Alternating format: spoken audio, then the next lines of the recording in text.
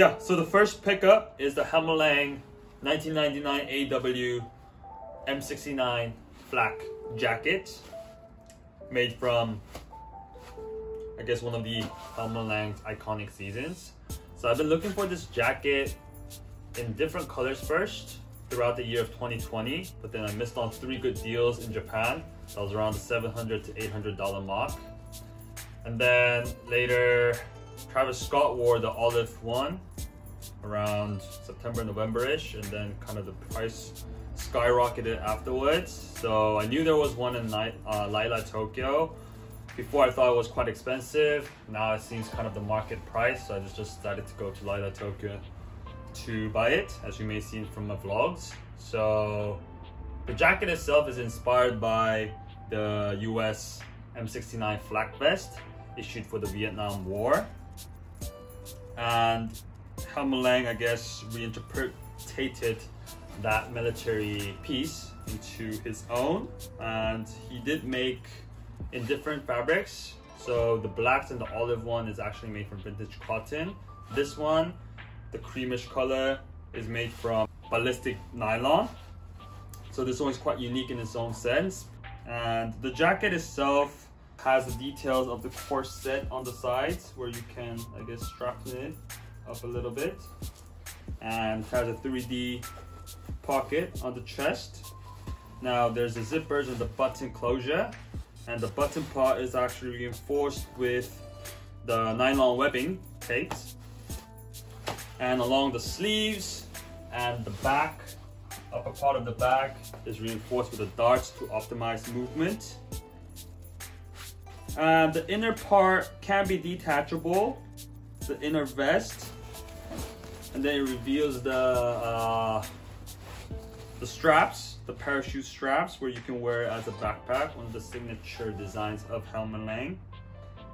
And yeah, so I really like this jacket. The color is beautiful, creamish, beigeish color. It's quite warm for the winter as well. It's a little padded. Short, cropped, kind of oversized in the shoulders. Mine's a size 44. So as you can see, it doesn't really fit so small. So great sizing. I think I could have done a 46 as well. I think 48 would have been kind of too big for me. So great. I'm actually getting hot here, but okay. Yeah, so the next cup is from Raf Simons, 18 AW, the Caban coat. Now this coat was came out in three colors, blue, red, and black. Uh, the blue one was quite rare when it released, and especially in this size. I got picked up a size 44. As you can see, uh, it does fit very oversized. It's made it's made from mohair and virgin wool. Beautiful fabric, beautiful construction, beautiful hardware. The, especially the buttons is quite amazing. Uh, the surprising part of this jacket is actually he constructed it in a reversible construction so basically it can be reversible I've actually never worn it on the other side but let me just show you the lining is like in this silver polyester lining.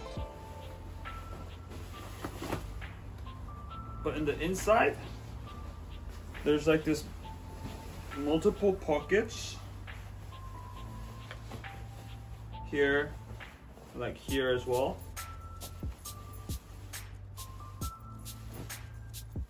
it keeps you very warm actually in the winter so I'm actually wearing this quite often these days. I think it's one of the favorite cups that I did this season.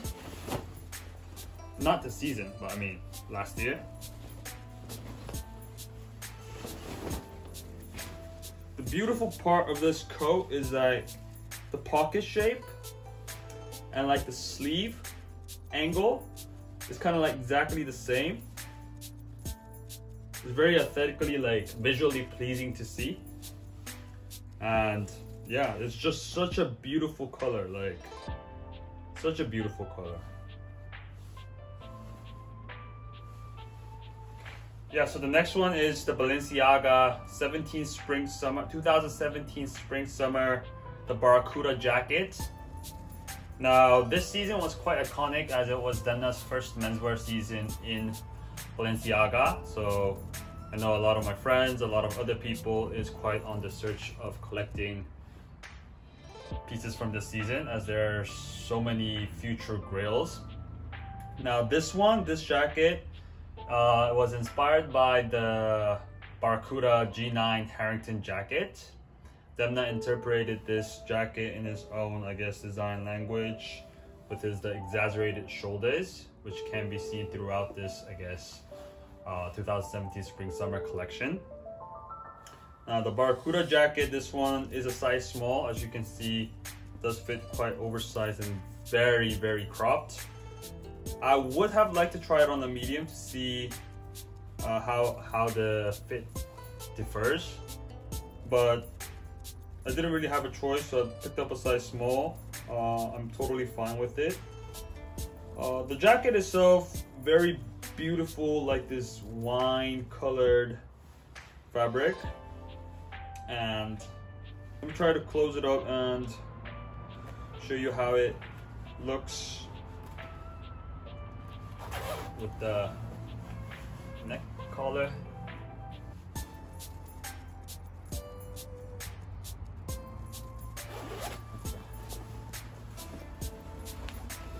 Now a similar jacket from this collection would be the MA1 bomber jacket and the green and the black colorway.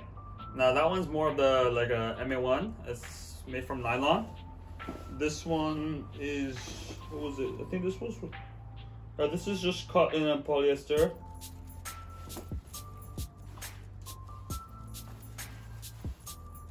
Nothing really much to talk more about this jacket. I mean, it's Yes. No. Huh?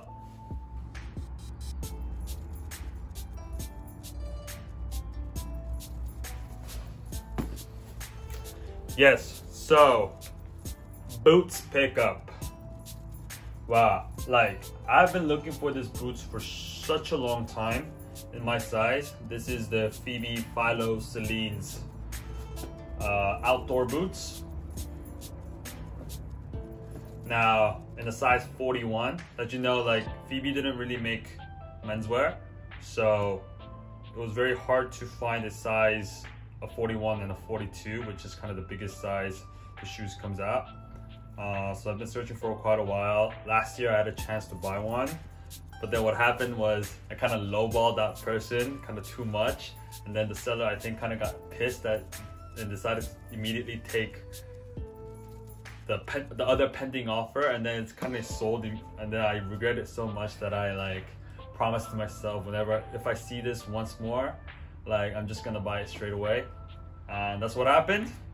So I did pay quite a lot of money for this but no regrets as this is such a beautiful shaped duck boots. There I guess this was inspired by the duck boots from like LL Bean you can find very similar designs everywhere. The most notable one would be, I guess, the Yeezy 950. Now, the difference would be like the Yeezy 950 has a little bit more wider entrance here. So it does look a little bit more bulky. The reason why I like, like this one was, I guess, its shape. Like it's not as bulky, it's quite like tight in the ankle area, which makes the shape so aesthetically pleasing. And I guess just a big fan of Celine with the accent. Thanks to my girlfriend. So now the surprising part when I received it was actually it's kind of like more of a winter boots. So the tongue is kind of like lined with fur. So amazing. Yeah, so the next pickup is the Gucci embroidery denim that came out in I think 2017, I believe. I owned this pair of jeans before when it first released, and I ended up selling it after like a year or so. But as you know, there are some items that you kind of regret selling and it keeps coming back to you. So I decided to buy it back this time. And It's just an incredible pair of denims and the embroidery quality is just on point like on the sides the kind of the red stitchings. And they it leads up to like to this like green embroidery up top kind of like a plant. Then there's like the flowers birds at the front of the denim and on the back as well. I think my favorite part would be like kind of like this uh what is it? This kind of plant that kind of like swirls up your leg from the bottom to the up to your thighs. And on the back there would be the distresses. And along the back as well there's several other embroideries. I think along the season the snake denims the bee denims are quite popular. Um, this one I think retailed like double those as well. But this is by far the my favorite uh, my favorite pair that came in those seasons. Yeah, so the next jacket is, is Kiko Kostadinov CP Company, the Sinesis jacket in a size 48. As you can see, the packaging is quite nice. They gave like the full hanger and inside there's like this backpack thing, additional backpack where you can put the jacket in. Um, but I picked this jacket when it first dropped in the official website. The it wasn't so hard to cop. I think it sold out in the Kiko website within one hour. In the CP company site, I think it sold out 10 minutes, I think. Not too fast, not too slow. I haven't had a chance to wear this a lot though, but when I did, I actually wore it once. And I do think this is one of the best jacket that Kiko has produced. And I was talking with Hoki uh, from ZSC as well, and I found that he bought this jacket as well, and we're like, we were just talking like, agreeing on like, that this is kind of like, in our opinion, one of the best jackets that he produced the for this one let me see where, where it is. Uh yeah. This one it's actually the fabric was sourced from CP company. It's this coated color resistant internal coating garment dyeing. So it's the color is just so beautiful in this signal green with the contrasted black lining zippers. Unfortunately I think the zippers and the hardware is YKK. Normally, when Kiko produces his main line, he normally uses Riri and Cobrax. However, I think if he used Riri and Cobrax for this jacket, I think the retail would have been like over 2K, which is why I think he used, uh, decided to go with this hardware. Regardless, I think the construction and the fabric itself is up there so that it's totally fine in that sense. Sleeve articulation and the Velcro straps along this end of the arm part can adjust the silhouette of the shape. And then there's the action piece on the shoulders. So all of this, I guess, leads to a very comfortable fit regardless of the body type. And what else could there be? Yes. And this jacket is so transformable, it's kind of quite confusing. Uh, basically, this jacket was inspired by a motorcycle jacket and a fishtail parka. So this neck gaiter here can also be detachable, detachable. And the fishtail parka, if you, there's this like internal snaps where you can unsnap everything and then a inner garment comes out leading and then making the transforming the garment into like this fishtail shape fishtail parka shape.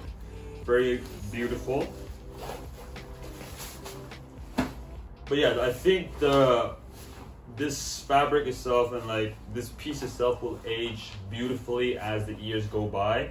Definitely i can see it becoming a very future archive piece for sure The pockets is has a very interesting shape. Very similar to my Per Götesson aviator jacket pocket shape. And yeah, I think that would be all for this.